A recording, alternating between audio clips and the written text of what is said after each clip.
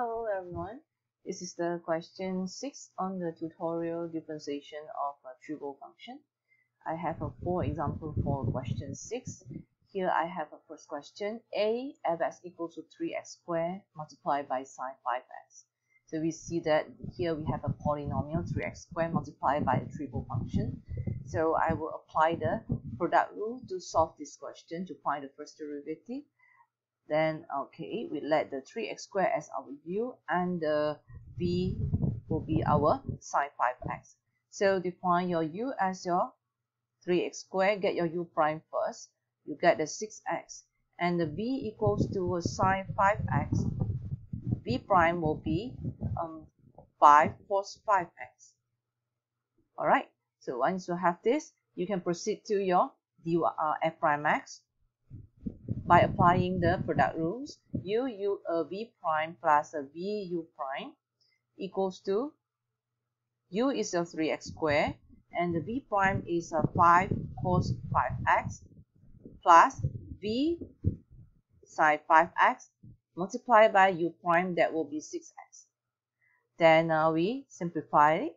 We have uh, 15x squared cos 5x at, for the first term and the second term we have a 6x sine 5x.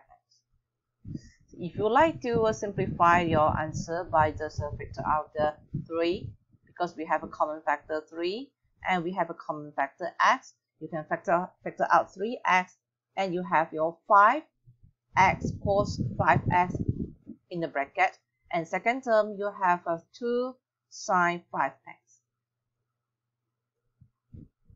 For question B, we have a sine x multiplied by cos 2x.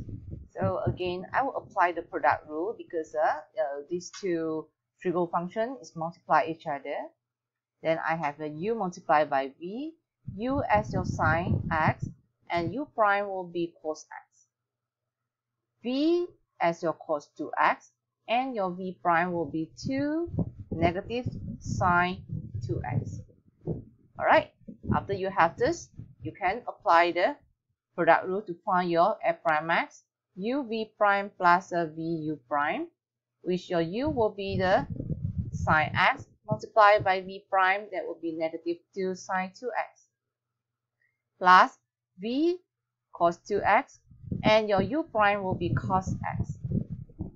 Simplify your answer, you have your negative 2 sine x multiplied by sine 2x plus cos x multiplied by your cos 2x.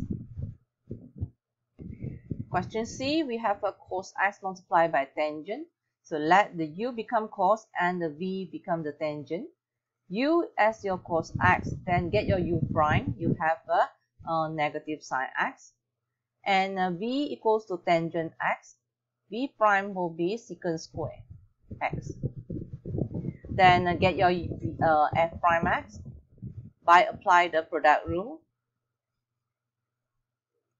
u will be the cos x multiplied by secant square that will be the v prime plus v tangent x and multiplied by u prime negative sine x. Then simplify. Just write them down, your answer, negative sine x tangent x.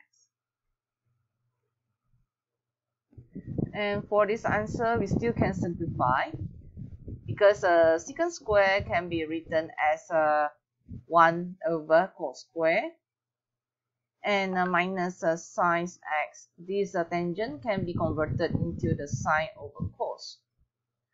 Then we further simplify. We have a uh, first term, we have a, a cos x because uh, one of the cos x already been cancelled off and uh, you have a second term sine square x over cos x. Since uh, both term having the same denominator, we can just uh, combine the both term on top.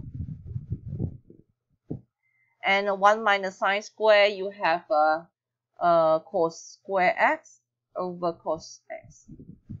Because uh, using the identity, the identity uh, tell us that the sine square theta plus the cos square theta equals to 1.